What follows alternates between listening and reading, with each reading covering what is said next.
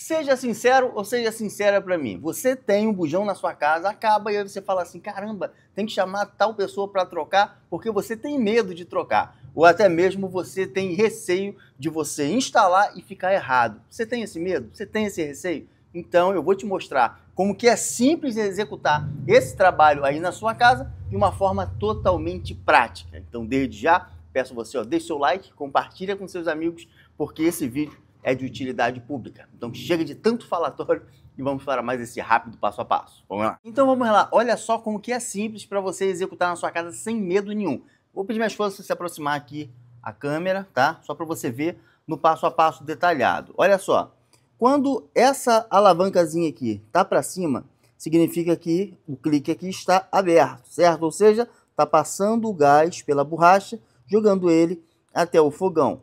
Quando ela está Assim, significa que está completamente fechado, ou seja, mesmo se você tirar a borracha daqui, o gás não vai passar, ou seja, totalmente sem gás aqui. Você pode estar ligando o fogão ali que não vai acender de forma alguma. Como que eu faço para trocar o bujão? Ele normalmente vai estar assim, certo? O gás acabou, e agora? Pronto, olha só, ó, pegou aqui, abaixou essa parte, vai vir para cá, ó, e vai girar a alavanca sentido anti-horário. Ou seja, ó, você vai pegar aqui, girou dessa forma, com ele fechado.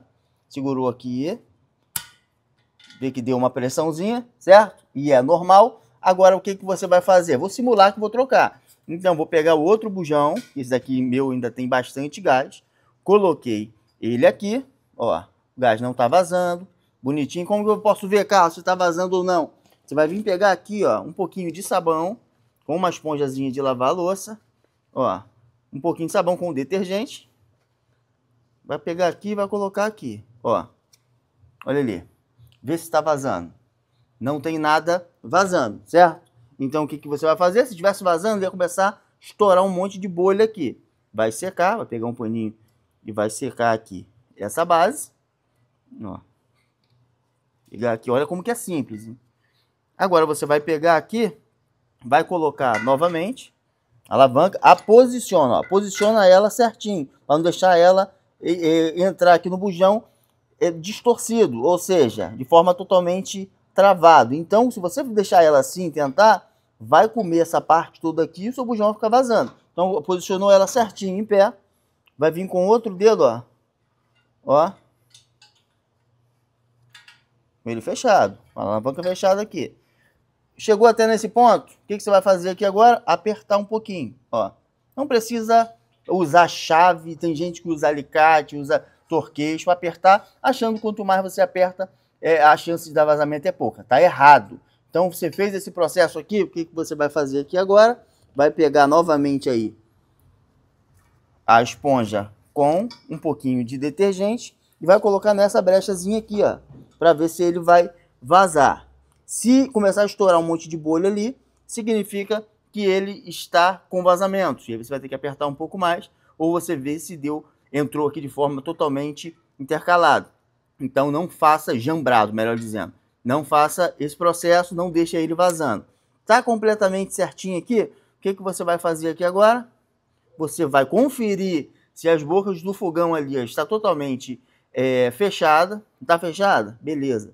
Agora você vai abrir ele aqui. Abriu ele aqui, você vai vir novamente com o sabão, ó. Vou pegar aqui, botar mais um pouquinho de detergente, só para fazer um pouco mais de espuma. Veio aqui nessa brecha também, ó. Jogou aqui para ver se tem vazamento nessa parte. Aqui é sempre bom você botar uma braçadeirazinha, tá vendo? Que pressiona ainda mais. Tem vazamento? Não, zero vazamento nessa ponta. Agora se você vir aqui, ó, ninguém faz isso, ó. Olha aqui. Essa partezinha aqui, tá vendo? Vem também aqui, ó, passa para ver se tem algum tipo de vazamento. Não tem? Show de bola. Saiu perfeito. Agora vamos fazer o teste. Pode levantar a mão, por favor. Olha só aqui agora, ó. Vamos ver aqui agora. Aqui é automático. Não sei se dá para ver aí, irmão. É porque tá... Uhum. Dá para ver agora, não dá? Tá muito claro? Não dá para ver direito ela aqui, ó. Totalmente funcionando, tá vendo? Vamos ver se eu coloco a mão aqui se vai. Olha lá, acho que amostra. Uhum. Totalmente ligado, todas elas funcionando de uma forma muito tranquila. Então, o que acontece? Viu só como que é fácil você desenvolver esse trabalho na sua casa sem precisar ter medo. Se você seguir esse passo a passo, com certeza você vai alcançar o sucesso aí na sua casa sem precisar correr risco, sem precisar, ah, pô, será que estou certo? Não tem como. Faça esse processo certinho. Toda vez quando você vai trocar ele, ele faz um barulhinho, mas é completamente normal. Conferiu, depois trocou, conferiu se está vazando. Não estando vazando, ótimo. Você já fez o, o, o trocou ele de forma perfeita e agora é só você utilizar. Espero de todo o coração que vocês tenham gostado. Claro que esse vídeo não é para uma pessoa que já troca bujão há um milhão de anos. É para aquelas pessoas que acham dificuldade em fazer um processo que é tão básico, tá? Que Deus abençoe a todos. Se gostou, dê seu like, compartilhe esse vídeo com seus amigos. Fique com Deus, gente. Até a próxima.